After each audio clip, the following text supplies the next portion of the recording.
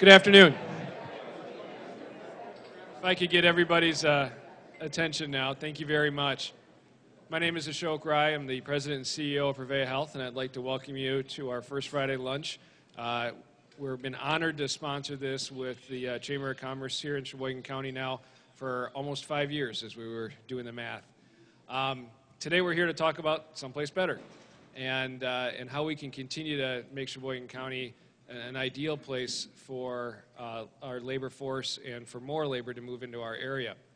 Uh, that being said, we have uh, an exceptional speaker today. I'm very honored uh, to introduce now Governor Scott Walker, our governor of Wisconsin.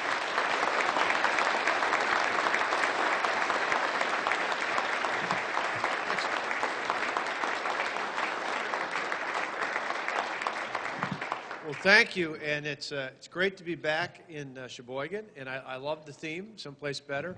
Uh, it's certainly thinking about not only this area, this region, but it fits in well with the state of the state right now, which I, I pointed out in our report to the legislature is strong.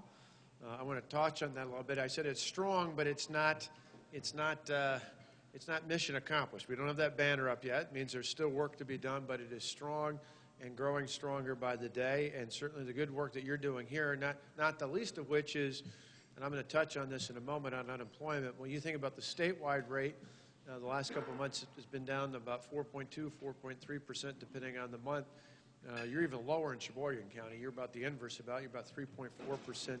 That's really remarkable because for any of you who are study any anything in the realm of economics, know that economists contend that uh, about 3% is what they call full employment, meaning that anything below that uh, is people just kind of moving in, not being unemployed, but moving in between positions. So a hat tip, uh, what's that? Well, I say below that, uh, uh, uh, but I said that at least in Madison at the uh, School of Economics, they talk about 3%. Uh, and so we're, we're uh, doing well as a state. We're doing well certainly here as well on top of that. Um, but so a hat tip to the chamber, to the the mayor, the city leadership, the council, to the lawmakers from the region, a number of whom are here. and We appreciate that along the way. And, and uh, we certainly appreciate all your good work. You know, we talked about the, the state of the state.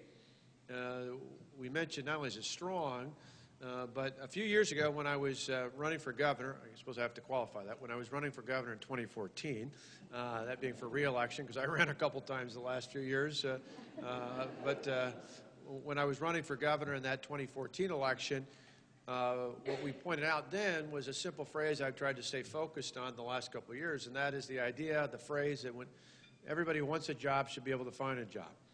The only thing I would qualify to that is, is not just a job, but everyone who wants a career can find a career. And, and I think that's really important as we go forward, and it ties into not only the needs of individuals looking for work or looking for a better job, it ties in very much directly into many of the employers here and others across the state who are, who are now looking for qualified workers. Uh, and we're going to touch on that for a few moments uh, as well. But you think about those factors. So statewide, you're, you're well below the statewide average. Statewide here, we're at, at uh, the lowest unemployment rate we've had over the last couple of months since March of 2001. Now, that doesn't seem like that long ago. If you're my age or others like me, you think, okay, that's the 2000s but I put that in terms of my sons who are a junior and senior in high school, or excuse me, in, in college. It seems like they were high school just a few years ago. Junior and senior in college, 20 and 21 years old. The last time the unemployment rate statewide was as low as it's been the last few months, they were five and six years old. That's like a lifetime ago for them. And so, for any of us who've got sons and daughters, whether they're college age or high school or younger, you think that's literally if they're in early stage, even high school, that, that is a lifetime ago, and that's how low unemployment is in the state of Wisconsin. You're help leading the charge here in Sheboygan County.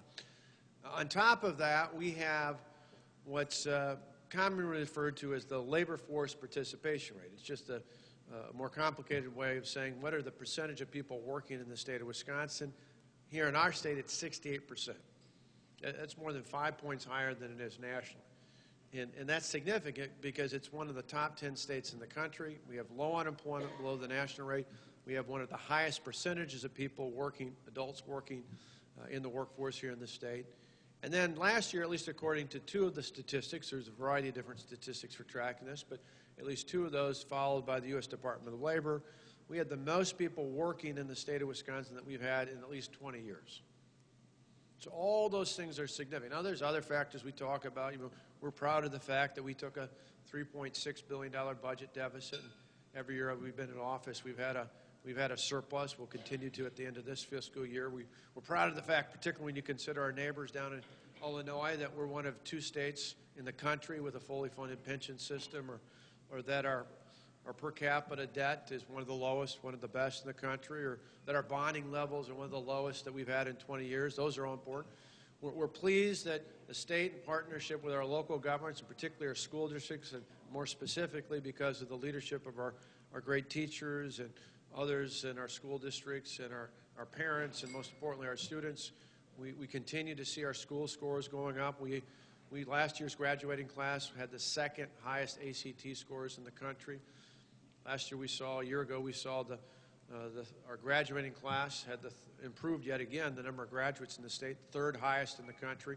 So in all these different measures, we're doing well. Uh, but there's more work to be done, and there's more that we can do to build off of that because, as so many of you know who are hiring here in this community in this region, that's the good news. The, the challenge, if you're an employer, is now it's even harder to hire it's even harder to find qualified people to fill those positions. And so, really, our focus, like I said, is not just about finding a job, it's finding a career.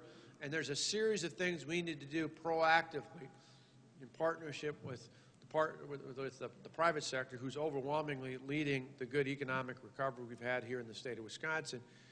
And that is to start shifting our focus and our resources into helping increase that pipeline uh, helping increase the prospects you have for hiring people here in this community, in this county, and for people all across the state. So we've done a series of things. We'll continue to. One of the things I'm excited about is this coming school year, this fall, we'll have 25 school districts across the state that are pilots for what's called academic and career plans.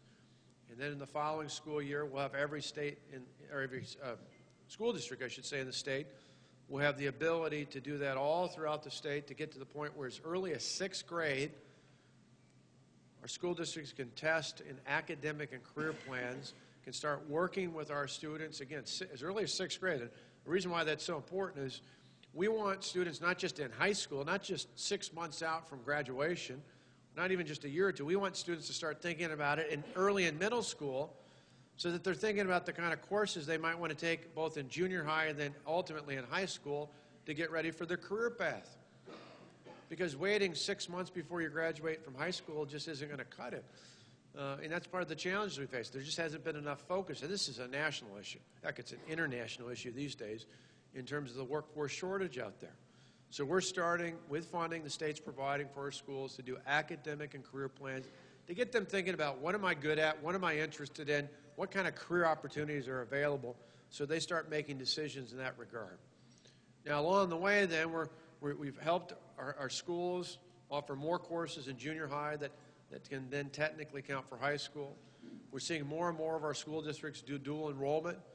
And we announced a few weeks ago in our State of the State that we're actually shifting resources from a program called Wisconsin Fast Forward, where we still have dollars there for customized worker training, and we'll continue to do that. But we're shifting some of that, $3 million, right away, right now, help our school districts, whether they have a program and they want to expand it, or they, they don't have a program and they want to start one, to be able to do dual enrollment programs in the state. Because what we found is that we do that, the partnership between our, our school districts, our public school districts, and our incredible technical colleges. Whether it's LTC or others across the state, we've got 16 great technical colleges in the state, and that increasingly the more school districts that are doing dual enrollment partnerships with our technical colleges, the more we give our students really a jump start in their careers. Incredible, incredible jump start in their careers. I, I was just talking the other day with some students, one of whom had, he told me that he had 20 credits he had acquired in high school that qualify for higher education. That's like almost getting a year for free. That's phenomenal. We need to do more of that. We need to encourage more of that.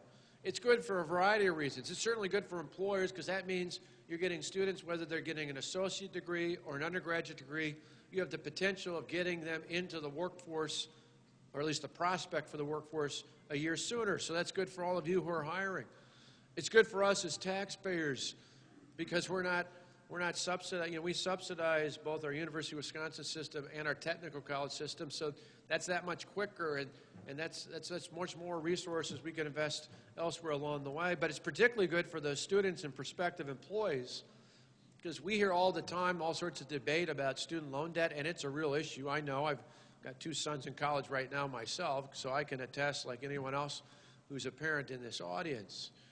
But I've said for all the debate about how to deal with that, so much of which in, in our state and our nation's capital focuses on interest rates, and sure, it'd be nice to have some relief there as well. But if you've got thirty or forty thousand dollars worth of debt, I don't care what the interest rate is.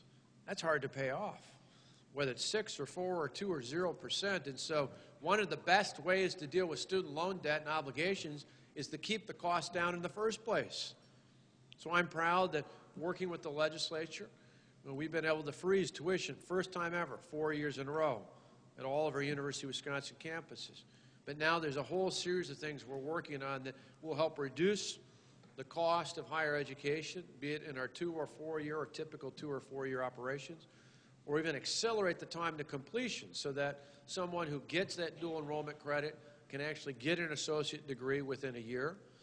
Increasingly, we're working with Ray Cross and the University of Wisconsin system to say we want to have the university here in Wisconsin, the system, provide a series of, of probably starting out as a pilot with a series of, of targeted degree programs, but eventually grow from that, of three-year undergraduate degrees. Figuring that if we can do like we do with dual enrollment, we can have more course options where we can partner our school districts with our higher education institutions. We can get our students in and out in high demand, high need areas within three years three years to completion. That has a dramatic impact, like I said, on the cost for the student and their families, on the impact on the taxpayers, and on the impact of getting more people into the workforce sooner.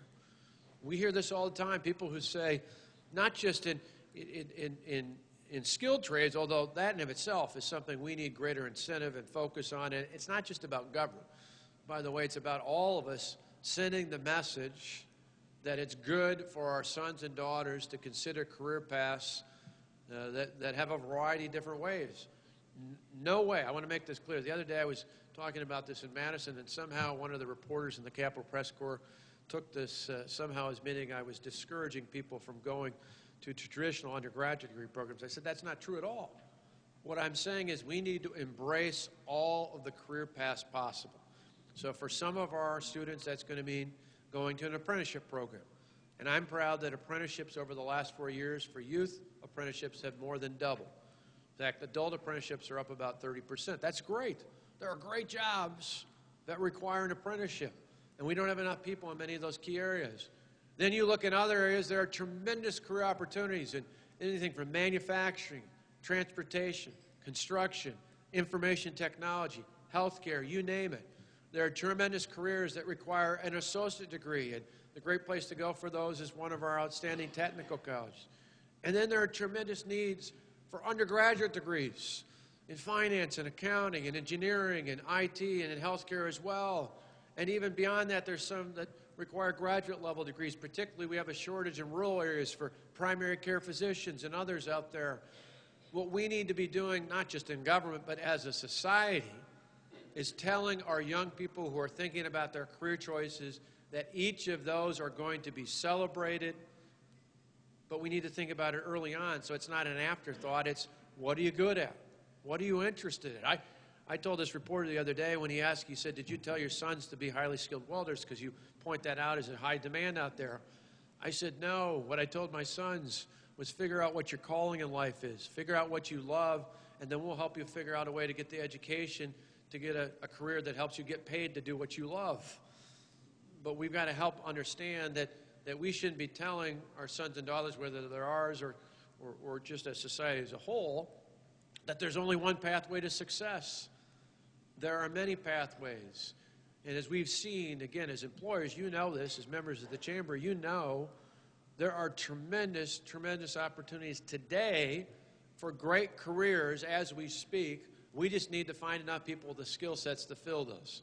to get them the education and the qualifications and the training that they need to succeed.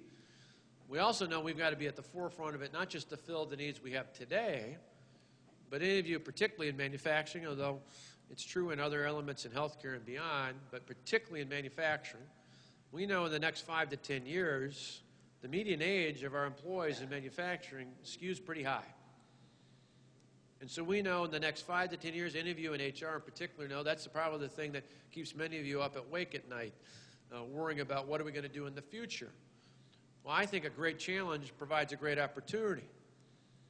Because if we get out front on this, if we're aggressive on this, not just with our young people, but, but with people coming back into the workforce, with people coming off the sidelines, we can be the state that has one of the lowest unemployment rates, one of the highest percentages of people working in the country, one of the most prosperous country or uh, states in the country, and potentially in the world, because of leadership when it comes to workforce development.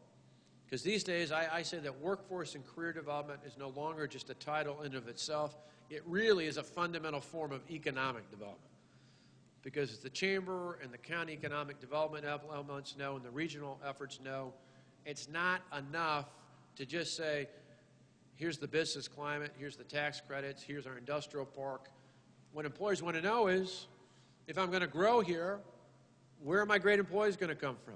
If I'm going to move here, how can you show me a steady supply for the demand I'm going to have now and in the future out there? And we are fundamentally focused on that. Years ago, you know, back at the beginning of 2010, the unemployment rate was 9.2 percent.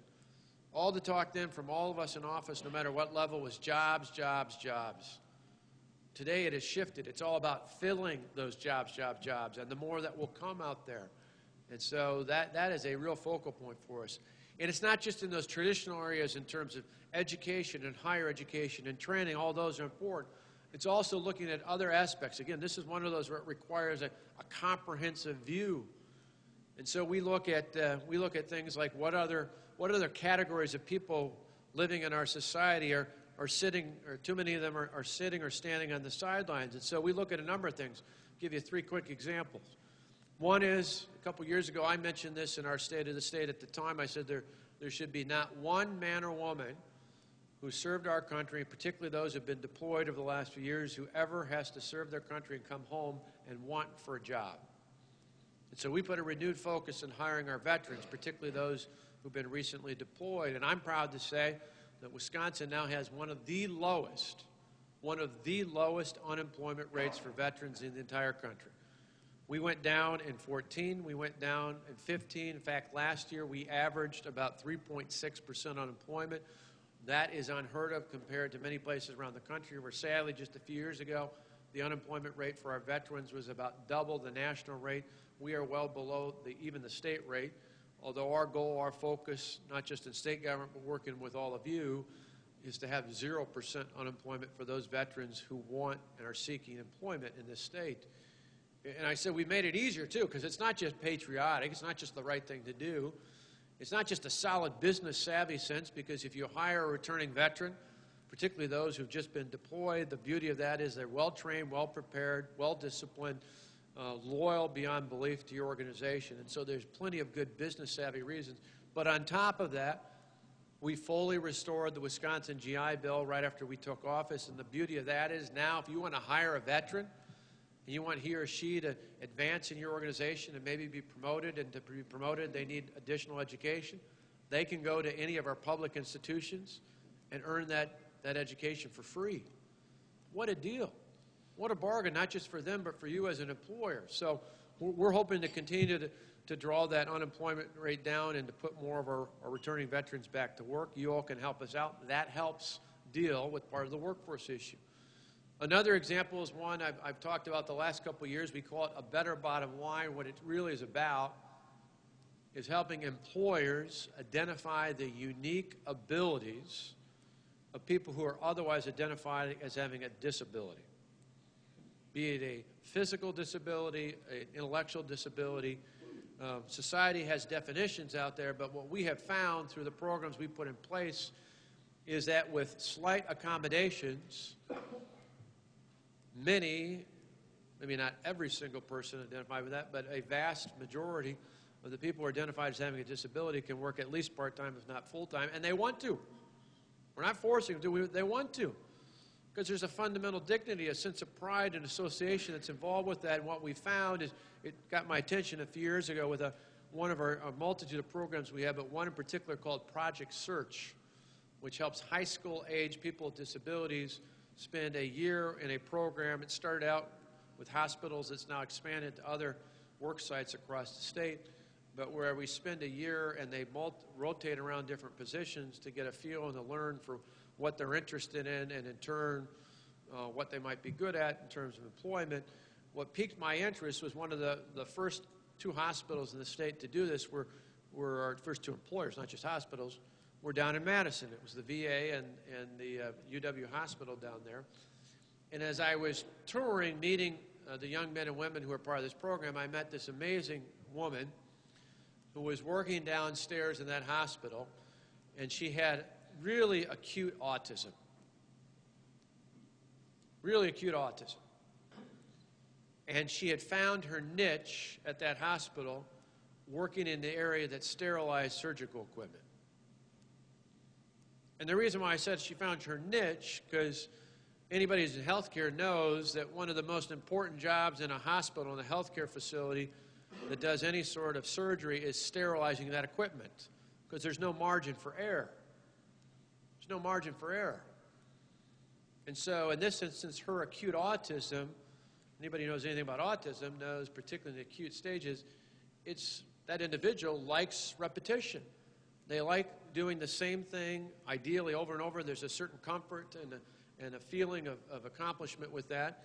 And so instead of her autism being a liability in this particular position, it made her probably, arguably, one of the best, if not the best candidate for that position. Excuse me. So by identifying the right place and the right need, it wasn't a matter of charity, it was a matter of placing people in the right conditions, in the right situation, and they became a great asset as a, a worker, as, a, as an employee at that institution. There are plenty of other examples all across the state. I've, I've had so many employers who've worked through our programs through both Better Bottom Line, but specifically through the Division of Vocational Rehabilitation, who saw about a 15% or 15 year um, high in terms of the number of people that we've, we've helped employ this past year. So many people we've talked to as employers who said, you know, I thought I was just doing the right thing, but this really was good for us. It was good for the people we worked with. It raised our morale. It helped us out. Again, taking more people off the sidelines and putting them into the game uh, for employers and business all across the state. And then the last one example I'll give you deals with public assistance. Now, this years ago, Tommy Thompson did some things in this regard. Back then, we used to call it in the 80s and 90s welfare reform. It kind of slipped away over the past decade or so. Uh, and we've looked at it a little bit differently, but it's a similar concept. I- I'm proud to say, for example, in this state now, because of our reforms, the state of Wisconsin requires any adult who's physically able to work and has no children in their household, if they want public assistance, if they want something like food stamps, they can only get it if they're enrolled in one of our job training programs and they're seeking employment each of the days of the work week. Now, as you can imagine, we first talked about this uh, in, the, uh, in the Capitol. There were some who I think falsely, but, but some said, You're making it harder to government assistance. I said, No, we're not. We're making it easier to get a job. Right? Isn't the end of the game? I mean, for someone who is able, we were able to help them out. We all know that people go through tough times there, but for the grace of God, go pretty, pretty much any of us out here. But we also know that if someone is able to work, we're not doing them a favor by keeping them dependent on the government forever. We're just not doing them a favor. And so the, what we are fundamentally saying in this state is we will help you out, but we expect something in return. Pretty simple concept, actually. I, I grew up in a small town down in Walworth County. My dad was a preacher there. I still remember as a kid, people would come to the church and ask for help and assistance from my dad in the church. And, and more often than not, they'd give it. But my dad always had a rule. If someone was able, they had to do something in return. It might be paint the door out in the back. It might be taking the garbage out. It might be sweeping up the fellowship hall. But he wasn't going to give somebody just something without asking for something in return. Now, that's not being tough. That's just reinforcing the dignity that comes from work, that comes from the expectation that, yeah, we're good and decent people, but we expect something. And the other night, as I gave our report to the legislature, I gave a couple examples. And one of the great things, one of the great prides of the thousands of people we've already moved, we've already transitioned from government dependence to true independence, have been the stories of people who not only got employed, but one woman in particular who got a job and then a couple months later got a better job, and then along the way through her job club, she found out about a grant that would help her through one of our technical colleges get trained and certified as a certified nursing assistant. And she told our folks working with her it was the first time in her life that someone had actually had confidence in her that she could learn something and get a valuable skill, and she was excited to go out and do that. That's a transformation out there. That's a transformation out there. And that just showed that, you know, for too long we've allowed people to sit on the sidelines. And it's not just about us as taxpayers saying we don't want people living off of our tax dollars that way. It's not just about helping employers find more qualified, valuable people to get in the workforce. It's about instilling the dignity that comes from work and allowing people to control their own lives and set their own destinies. It's about freedom. It's about freedom and prosperity in this state. And that's really been our goal in all this. And so those are just a few examples of the things that we're doing. And I say we because it's, it's our staff, it's our cabinet, but it's the great lawmakers who are helping us out along the way. And we so much appreciate that partnership, as well as the partnership with our, with our counties, particularly when it comes to social services and our municipalities, when it comes to economic development, and most of all with all of you in the private sector. Because we talk about those good job numbers, they don't come because of government. You know, government can be a help or a hindrance. We tried to be a little bit less of a hindrance, and, and certainly we tried in a couple areas. We're proud of the fact that we've helped lower the cost of doing business in the state. I'm proud in particular that property and income taxes today are lower than they were before we took office.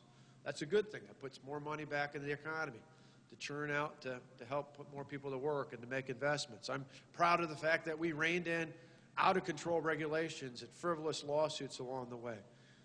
And believe me, there's still more work to be done, but we've made tremendous strides there. Those are all really great things to improve the business climate. And they have. I remember watching the, the rankings over the years. You know, Wisconsin Chief Executive Magazine, good example, in 2010, we were ranked 41st in the country. 41st. We've consistently been in the bottom 10.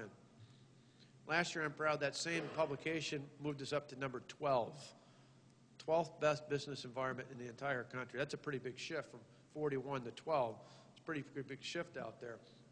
We want to do more. I'm not satisfied. I want to be in the top 10, and then I want to be competing against Virginia and Utah and, and uh, Florida and Texas and all the other places who are competing to be the best state for business. Because you see, it's not just about a ranking, it's, it's not just about the number of jobs. When I was first running in 2010 for governor, we, we had lost all those jobs. We'd lost 133,000 jobs before we took office in those four years. We had unemployment, as I mentioned, that was over 9%. But it really wasn't about statistics. It was about real people who had real families and real communities all across the state who were suffering because they either lost a job or, or they were cut back in wages or they went part time. And I knew we had to do something big and bold.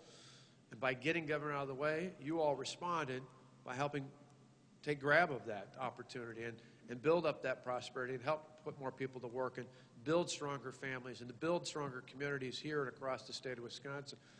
And we're excited about where we can go going forward. Um, but we know it's going to take a team effort. So we appreciate as employers all that you do. We appreciate the work of the Chamber and all the others who support our great employers in this state. Our goal, our pledge to you going forward is we're going to continue, where appropriate, to, to move that barrier out of the way, at least at the state level to the extent that we can, to, to make it easier for you uh, to invest in and employ people here in the state of Wisconsin. And then in areas where it's appropriate for us to partner well, like in education, like in worker training, like in higher education, we're going to be aggressive in not just funding those areas, but making sure those resources go to where they're productive, where there's a sense of relevance. It's one of the things I harp on. It's not just the size of the check, it's what is the outcome? What does it actually get you in terms of performance that matters? And we're going to continue to do that going forward. We've now put in place a number of reforms in this next budget. I'm, I'm looking to invest, for example, more money into public education in this state over the next two-year budget. Why? Because we freed up our school boards with the reforms we've done the last few years to see that that money is actually going to be spent in the classroom and that we can do more things like dual enrollment. We can do more things that get our students career and community ready going forward. And so we're going to shift some more resources in the next budget in that regard.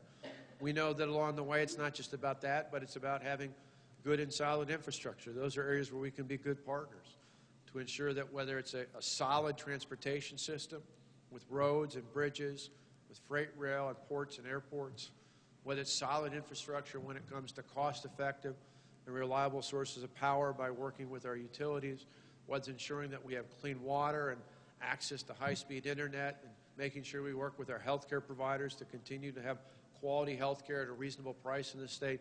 Those are all areas where it's appropriate for us to be a good partner in government, at state and the local level. I can't speak for the folks at the federal level all, all the time, but, but certainly for the partnership we have here within the state of Wisconsin. We're committed to doing that so that we build the foundation. In the first category of things, lower taxes, fewer regulations, lower litigation costs, those are all great things that help improve the quality of, of, your business environment, of your economic environment, of your business climate in the state of Wisconsin.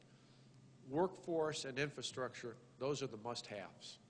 So we're going to make sure those must-haves are in place going forward. We're going to make it easier for you to do business. We're going to particularly focus in on workforce issues at all different levels, from apprenticeships to associate degrees to undergraduate degrees to graduate level degrees. We're going to focus on making education and worker training relevant to the needs of our employers in this state so the people we train, the people we educate aren't just going somewhere else. They're filling the job needs that we have and staying here themselves and ultimately their families in the great state of Wisconsin, hopefully for many generations to come. So I'm excited about the future. I, know there's, a, there, there's something great here, and there's something great happening in this state. We want to build off of that. We want to work with you. We're excited about the future. We're not done yet. Like I said, it's not mission accomplished, but the state of our state is strong, and we're looking for ways to make it even stronger going forward. Thanks so much for letting me come by today and share.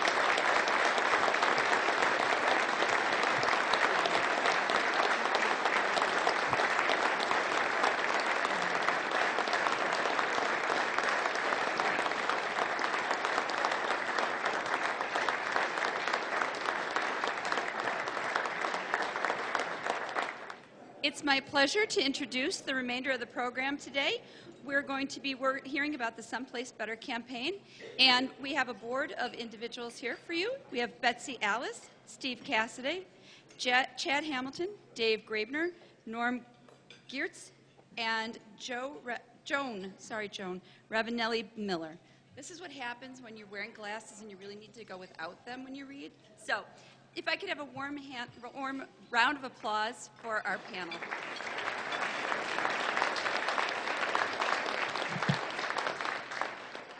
Can everyone hear me? I got a little closer to the mic. All right, there's our lead slide. Nice looking, huh? Sheboygan County is growing, we hope.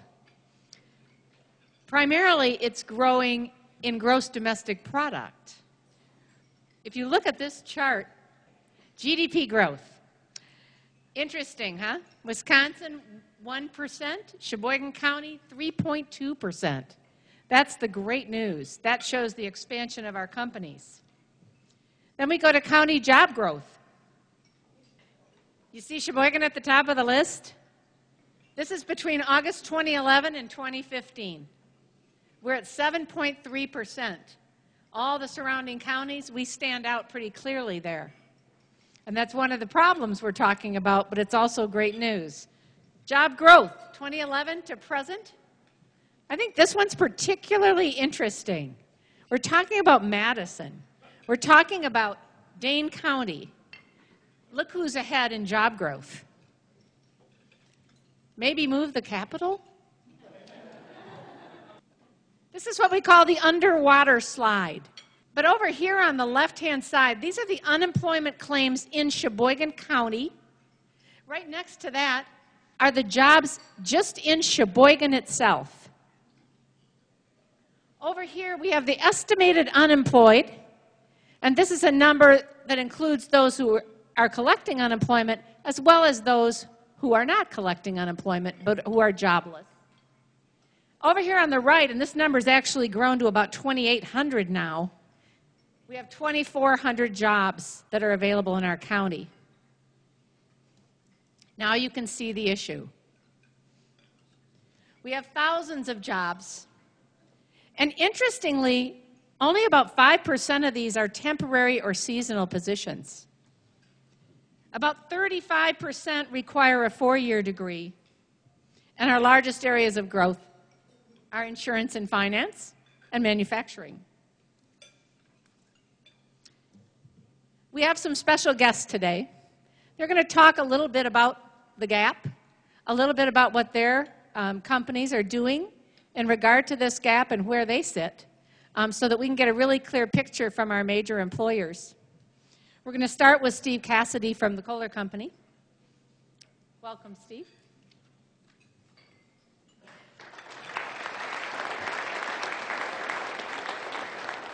Thank you, Betsy, and good afternoon, everyone. I'd like to start my comments by thanking Betsy, uh, the Sheboygan Chamber of Commerce, Sheboygan Economic Development Council, and those that uh, participated in the creation of this uh, marketing campaign of Someplace Better. It really is uh, fantastic, and it put Sheboygan County on the map just 30 days ago when we had news agencies from all over this area uh, come here to Sheboygan and, uh, and get a little bit of uh, behind the scenes of, of uh, what we're doing. It's amazing the opportunity that's in front of us. Uh, and at the same time, it's quite challenging because it, it will, over time, constrain growth and force us to look at opportunities elsewhere. So uh, the more we can uh, band together, the more we can use the assets uh, that we love and use here in Sheboygan County and to take this on the road so that we can get the word out that uh, Sheboygan County is open for business, uh, the better off we'll all be. This morning, uh, I had the pleasure of, of uh, joining a group from my organization at Kohler that uh, had celebrated 35 years of uh, service or more. And one individual, and he's actually sitting in the room, John Whitstrand, um, mentioned to me that, that when he joined Kohler Company, uh, our revenues were $350 million. We had three uh, physical locations, two of them manufacturing locations outside of Sheboygan County, one in Brownwood, Texas, one in Spartanburg, South Carolina, and then our home base here in Kohler, and roughly about 2,000 employees in total. Fast forward through John's career, 38 years, and we sit here today with 6 billion in revenue, 55 manufacturing locations around the world, uh, and we're in six of seven continents around the world. We have 33,000 employees, more than 5,000 here just in Sheboygan County. I want to start by saying thank you as well to Sheboygan County for giving us this platform to grow such a wonderful company and allow it to continue to be our home. This will and is the home of Kohler Company and will be for as long as I have a career there.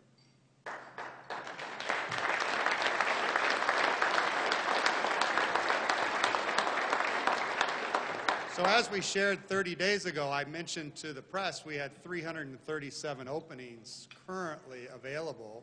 Uh, today, that number exceeds 400. So it's just over 400 uh, positions. Uh, it's broken into three parts. Uh, about 20% of those positions are in manufacturing, specifically skilled trades as well as general manufacturing. Another 20% of those positions are in full-time positions within our hospitality business. And then the remainder, 60%, in administrative and professional roles. And within that category, uh, disciplines like Governor Walker spoke of in engineering, uh, IT, finance, supply chain, et cetera. Over the course of the next 12 months, we do anticipate hiring as many as 550 uh, full-time employees, and that excludes seasonal workers uh, to the hospitality group, which would would add another 350 to those roles. So it's uh, quite a, uh, a significant need for Sheboygan County, but also, as I said earlier, quite an opportunity. It doesn't take a lot to become engaged and applied for these positions. people that have good work ethic, have a passion for learning, uh, are good in communication skills, and are willing to uh, immerse themselves into one of these subject areas. And there is uh, plentiful uh, opportunities for both education and degree programs or in through the Kohler Company or the other employers up here, uh, internal training programs to start your career. From the outlook going forward, it's as positive and somewhat uh, as challenging. Uh, for the next three to five years, we envision that need to continue and maybe even at a higher level. Uh, Governor Walker mentioned the aging workforce population. I mentioned breakfast with a set of folks that had 35 years or more with my group alone at Kohler. Uh, that population is going to graduate uh, over this next uh, five-year horizon, and we'll be looking to uh, backfill those positions as well as add growth positions to the organizations. For Kohler uh, itself, it's about a two-thirds, one-third equation. So two-thirds uh, of our business is uh, in positions or growth, and another one-third in backfill of retiring uh, professionals. And you may ask, where does all this growth come from?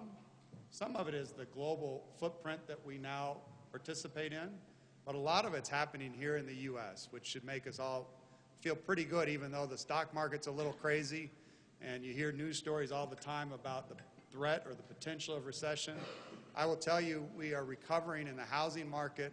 Uh, we still have a very favorable business and climate with low interest loans, or money that's available, uh, and good opportunities uh, for, again, employment and career uh, at the Kohler Company.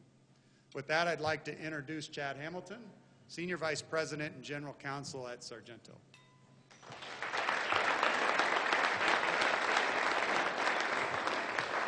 Thank you. Um, can you hear me okay? I was never quite sure how close to get to these mics. You know, I have to admit, you all should be commended. Um, usually, the surest way to clear a room is to put the lawyer on an agenda. And today we've got two of them, and you're all still here, even after dessert. Uh, thankfully, though, we had another guest here that the chamber brought in that, that had a little bit more status than we do, which was nice. So, uh, never fear, though. You don't need to worry. I sent Jane my 35 pages of remarks in advance for her to look at, and Lucky for you, she trimmed it down to three or five minutes, so I, I, think we'll be okay. So, but if you have any four o'clock appointments, you might want to get on your phone and cancel them real quick. I'm kidding, I'm kidding. In all seriousness, I'm here about Sargento, right? Um, but before I tell you about Sargento, I think you need to know a little something about myself.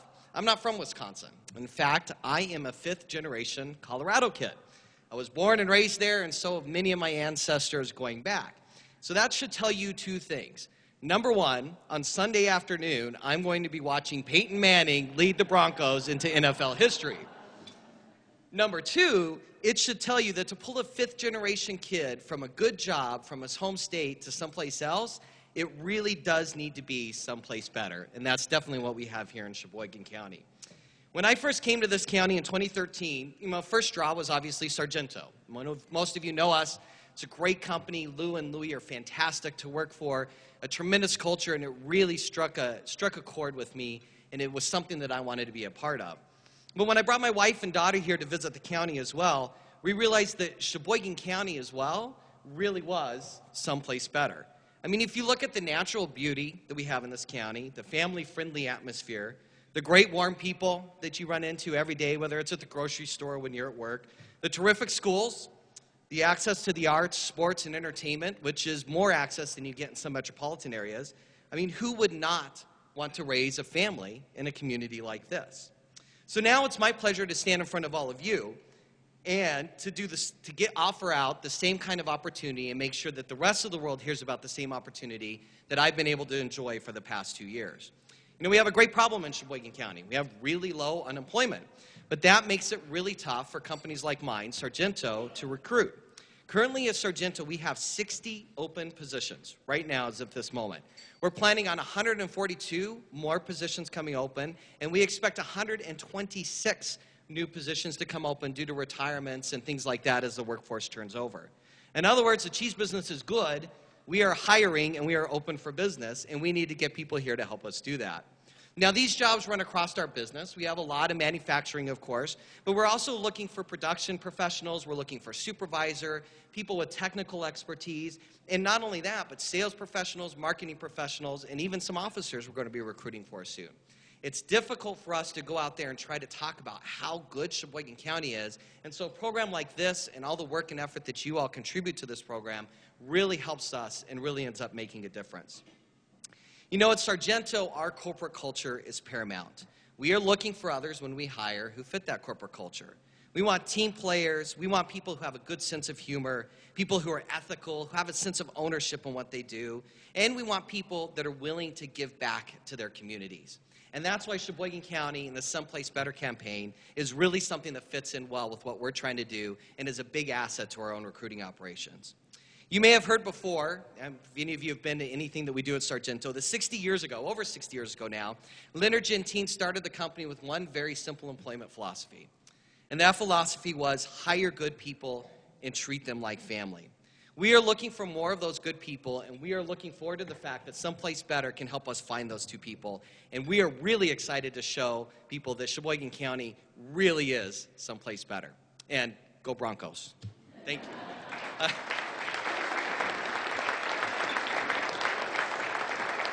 You were all cheering for Peyton Manning, right? Uh, I'd like to introduce Dave Graebner. He's the president of the Aurora Sheboygan Memorial Medical Center and uh, senior VP of hospital operations for Greater Milwaukee North, which includes the Aurora Medical Center in Grafton and Washington County. So please welcome Dave.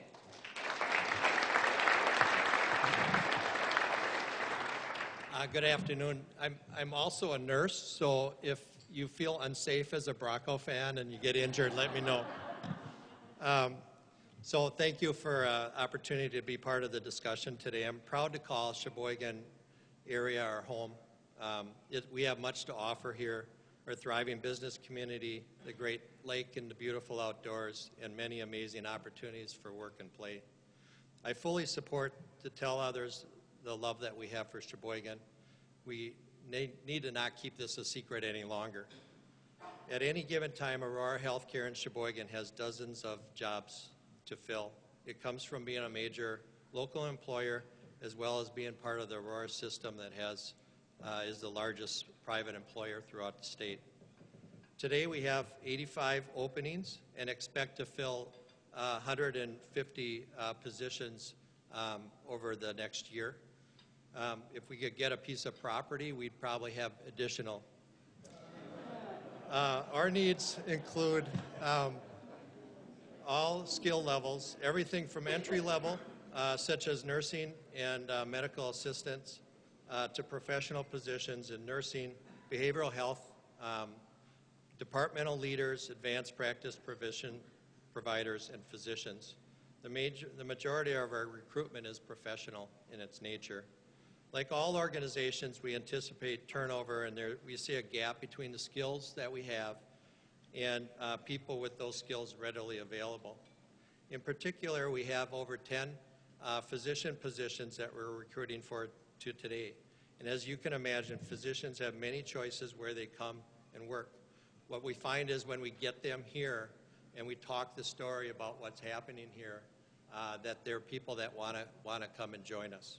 And so we've been very fortunate to re recruit excellent providers.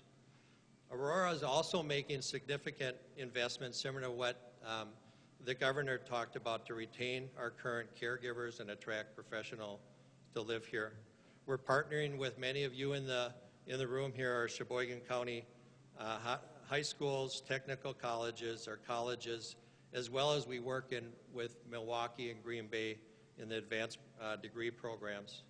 Our high school partnerships include a cluster program which provide work experience for special needs uh, individuals and ready them for uh, work in, in our environment.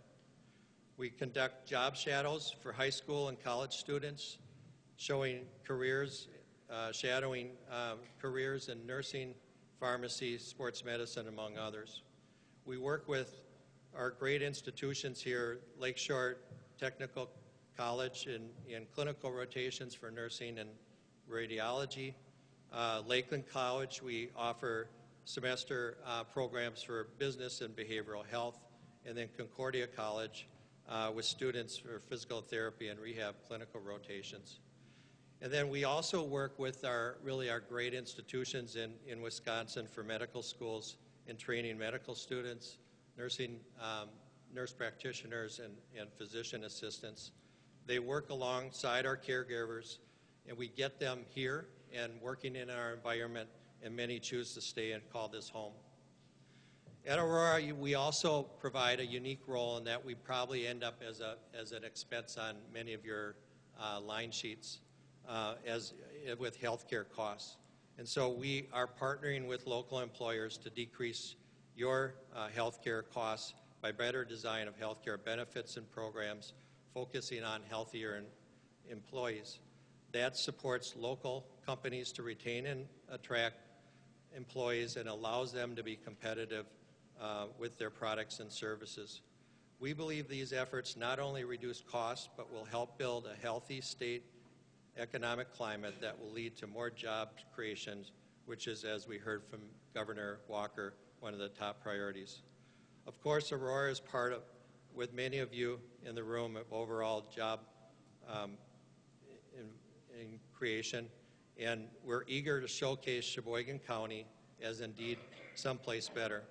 Many thanks to the Sheboygan Economic Development Corporation and the Sheboygan County Chamber for their leadership in this area. And now I'd like to uh, introduce Norm Gerritz. He's the COO and President of uh, Proprietary Products Group for Bemis Manufacturing.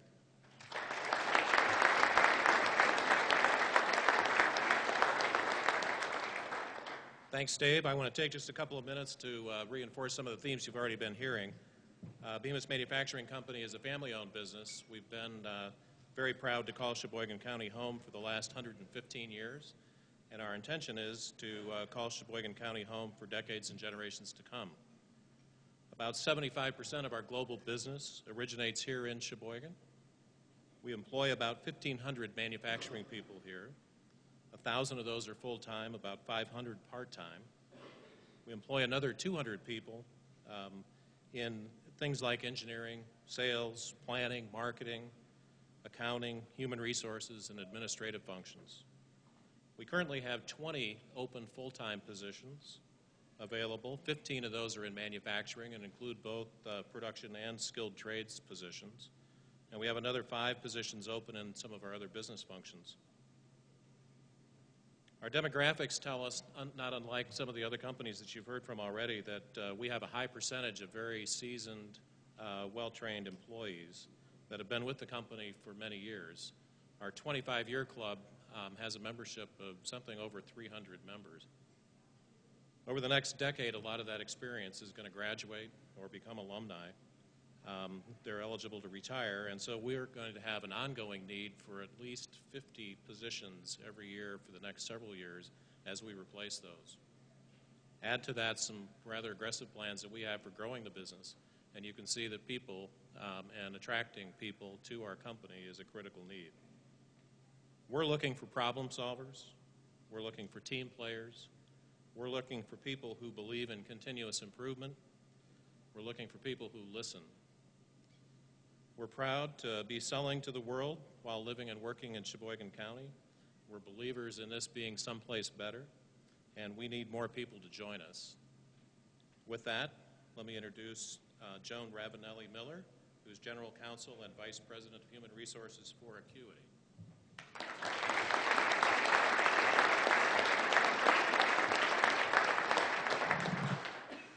Good afternoon. I am excited to be able to be here today to represent Acuity. Um, As many of you know, we are a mutual insurance company, and we've been in business for over 90 years, and we've always been in Sheboygan.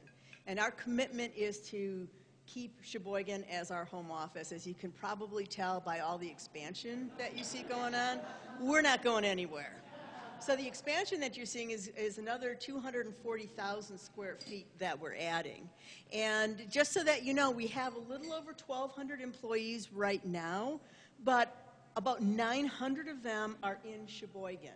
The other folks that we have are really our field employees because we write business in 23 states in addition to Wisconsin.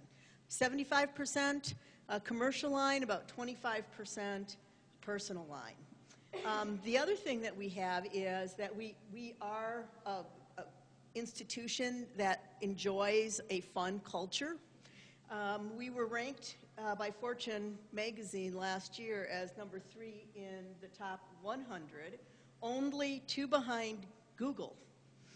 So that's Google, Boston Consulting, and then Acuity in Sheboygan. So we really feel fortunate. We feel fortunate to be able to, to bring that kind of culture. And so what we're looking for in people is really someone who fits into our corporate culture. Now, most of our um, positions require a bachelor's degree, and we look for someone with about a 3.0 or better grade point average. But just as important, we look for people who take pride in the work that they do, who accept empowerment to provide quality world-class customer service, who are willing to express their creativity, whether that's climbing the rock climbing wall or riding the Ferris wheel, and embrace our culture, which is one that is an enthusiastic champion of life well lived. We filled, uh, we had 42 employees start in January of this year. We have 26 offers out there that have been accepted, and those people will start sometime between now and June 15th. And we do have 60 opened positions. These rank anywhere from entry-level positions, and in case you haven't heard, we have a phenomenal training, training program. So one of the challenges that we have is to let people know we will train you. We don't, there's no like insurance degree that you can get to be a commercial lines underwriter or a claims individual or a loss premium auditor. So we put our people through a pretty intensive training program. And that's one of the challenges that we have is to let people know any major that you have, we can use, whether it's psychology or history or finance or programmers, because we have all those kinds of positions available and open. And so one of the other things that we have is bringing people to Sheboygan and then letting them see not only the corporate culture that we have, but also the fabulous community that we have. So I was telling Betsy that this is something that we take with us whenever we do our recruiting because it gives people a sense of all that Sheboygan has to offer. Not only the fact that we're the Midwest champion of um, surfing for fresh water, which, by the way, one of our employees looked at and then decided to come and join us from California. So that's not to be lost on anyone, but it's, it's a matter of retaining all of those great employees that we have. We have a 97% retention rate, and still we're committed to getting our folks to know more about all that we have to offer here. And this is a phenomenal vehicle for doing it.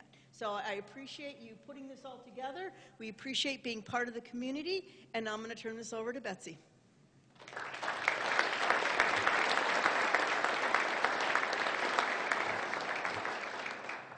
So aren't we fortunate to have these companies in our area? I mean, just amazing. And, and we want to do everything we can to, to help you, to assist you, and I speak on behalf of the Sheboygan County Economic Development Corp as well as the Chamber. Um, we're here to help. Um, we must grow. We know that. In 2015, the Chamber and the Sheboygan County Economic Development Corporation, for the first time, developed a formal partnership around workforce development to attract new employees to Sheboygan County. We conducted focus groups, a variety of them, primarily with people who moved here within the last five years, to ask them questions like, what would you have liked to know when you moved here? What are the things that were missing for you? And even now, how are you working your way into the community so that you'll want to stay here? We also invited a team of young professionals in from another community for a first impression tour. And they went through a rather elaborate process, a formal process, of coming in on a Saturday and just from their own vantage point, rating us in a number of categories. And now, just so you know, I know now that I have the key to changing the slides. And I had it before. so, my apologies to my brilliant staff members. All right, and it works. Um, First of all, we found out to no one's surprise that we're a very well kept secret, that we have big city amenities with a small town feel. They found friendly people, and I can certainly attest to that. I tell the story about arriving here on the Badger the first time I ever came. And it was the first trip of the year. It was sleeting, it was 40 degrees, and I could hear the faint sound of a band playing. We were greeted by a live band and school children with signs that said, Welcome. I mean, it, they probably thought they were tears in my eyes because I felt very moved by it. It was probably the sleet. But but what an amazing place this was from the first time I stepped off the boat, which sounds really interesting. Um, people across the board said they had difficulty finding temporary housing, and at the chamber we know this too. We get calls all the time. Difficulty finding their way around, and thank God for GPS. I mean, I, I can recall so many times, and having lived in Michigan, you know, you're, you always think you're going the wrong way here because the lake is always on the wrong side. But now, after 10 years, I can tell you the lake is on the right side now. So it's okay. Lack of shopping opportunities and a weak online presence that really they felt didn't reflect the quality that they found here. So we got to work. We developed a brand. And, and in doing so, we wanted something that was compelling and intriguing. We wanted something that didn't give us away right away because people have some preconceived notions about Wisconsin and about the area that we live in, and we didn't want those to get in the way of them having a fresh look at who we are. We wanted it to be bright and fun, and we wanted it to be primarily images, things that gave people quick impressions of the wonderful places and assets that we have. We wanted to be able to show and tell. So this became our brand. And you notice it doesn't even say Sheboygan anywhere. And the reason for that is we want to, we want to create some curiosity. We want someone who may be dissatisfied with some aspect of their life and looking to change jobs. We'd like them to take a look. This is the publication that we printed and put together. It, it you know, it was a lot of work. Um, but the most amazing thing about it is that finally, in one place, you can see all of our communities highlighted in their individual characters. You can see all kinds of fabulous color um, photos of people of all family styles, lifestyles, um, enjoying the waterfront, enjoying all the activities. Um, here I am flipping through the book. These are available at the chamber, so just give a call when you would like to have some to share with people that you're recruiting. And then we have this amazing website. How many of you have been to someplacebetter.org? All right, good start. How many of you have then taken that link and talked about wonderful things here that you found and sent it out on Facebook or LinkedIn? Okay, so we got to work on that a little bit. I'm going to show you this website because there are some areas in it I want you to be aware of and so that you will know to go there. This is where they do need to help me.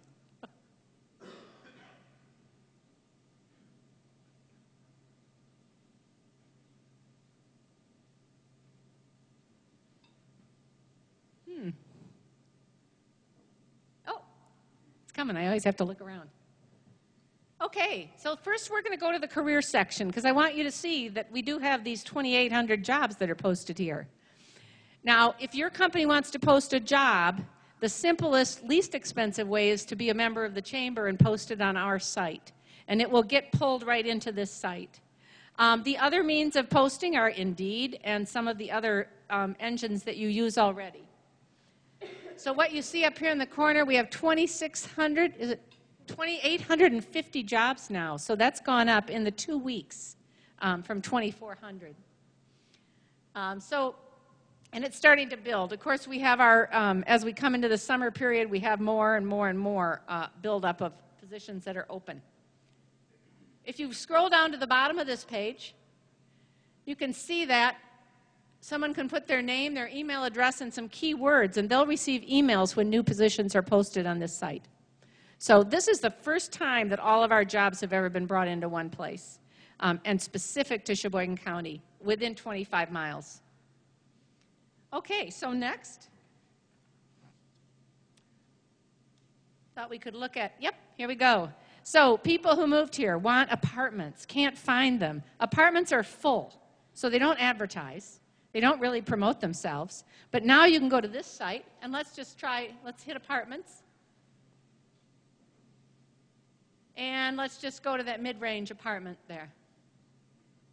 So here they see what a typical mid-range apartment is, what it looks like, what it offers you. And then below, if you scroll down, you'll see all of the apartments that are in that category on a listing at the bottom. And most of them are linked to websites so that people can get direct access to them and make those calls and see if they have openings. Okay? And the next. I'm going to show the school districts because I think that's a really interesting part of this too. Okay, Sheboygan Area School District, just one example. They're all on here. People usually look for where they're going to live based on the school district. So up here we have some statistics about the school. We have their ATC, ACT composite, um, student-to-teacher ratio, percentage of college-bound kids. And then if you keep going, there's a Wisconsin Academic Performance Report you can click on, general um, information about the school district. And way at the bottom, there's a place that is like a public site where people review school districts called niche.com. I encourage all of you to go out there and make great comments about our school districts. Because this is a live piece. So it's real comments from real people, real time. And then last but not least, under lifestyle, how many of you hear people say, wow, there's nothing to do here? Nothing to do. I don't agree, but, you know, I have a hard time choosing, but I did come from a smaller town. So if you look at this site, you realize how, how incredible the amount of things to do are. So let's just go to sports and clubs up on the left. Then we break it down again. Youth club, youth sports, adult sports, spectator sports, civic organizations. Hit civic organizations. We'll see what's there. So anything anyone might want to join to help out in the community. So, I mean, this, this site is, is, is as important for you and me as it is for people who are moving here. This, has become, this will become a central resource for all of us to get information. But I think, you know, more important than anything is the message, you know, that I have today is to, to spread that message. You know, put it out there. Put it out there. We've seen responses from, from the three weeks that we put this out. Within, what was it, within a week, we had 7,500 hits to the website. And within two days, we had 1.6 million impressions logged in terms of our media presence. But now we have to count on the inside out. We have to engage the people who live here in spreading the word, and we all have those tools. Just post a photo of something you did today in Sheboygan County and put someplacebetter.org, and it'll, it'll populate and send it out to your friends and family. You just never know. You never know if somebody's looking for something new. What's next? Well, the SCEDC is hard at work with job fairs. Um, when there's a closing, when there is a, a, a, a movement, I understand North Dakota, they're really working hard to encourage the people in the oil industry there who have lost jobs to consider moving to our area.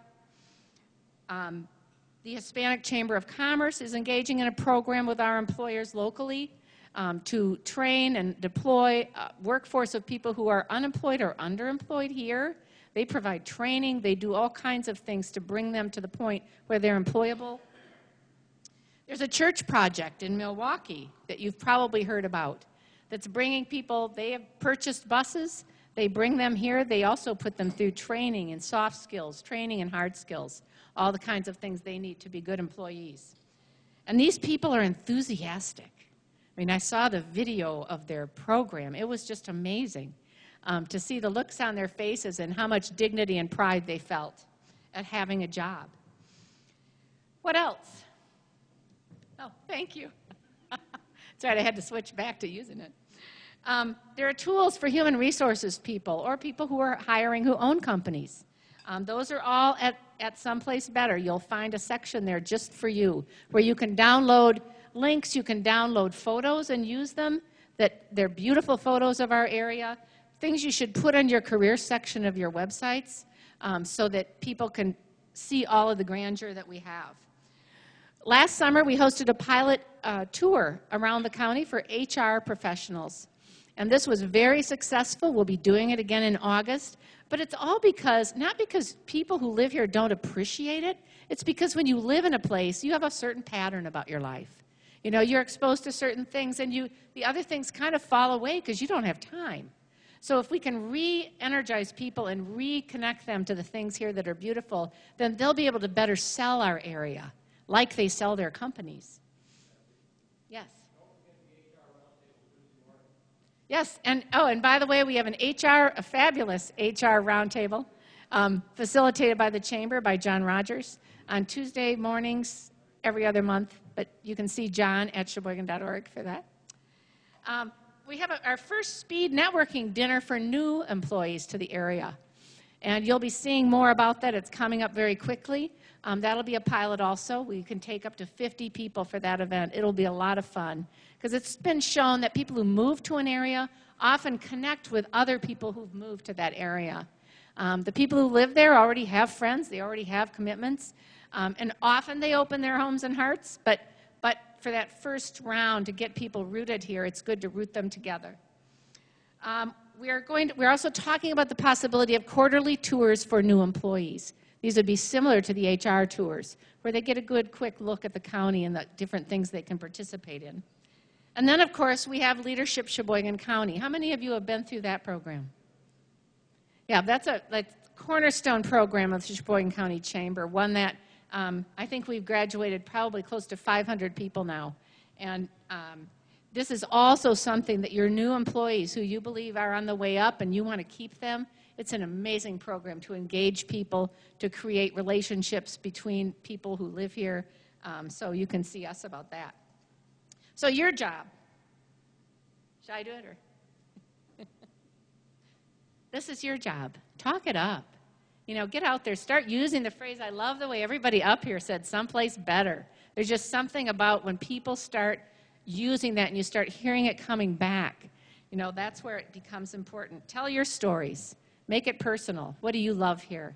Put that in Facebook. Let's, let's just create a movement here. And I want to thank our panelists again. I want to thank Governor Walker for being with us today, and thank all of you for coming to this event that, you know, we, we've kept you a little longer, but um, we sure appreciate you coming. Thank you.